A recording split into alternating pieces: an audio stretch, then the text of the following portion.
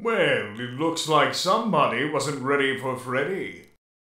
You really should have been paying attention to the doors.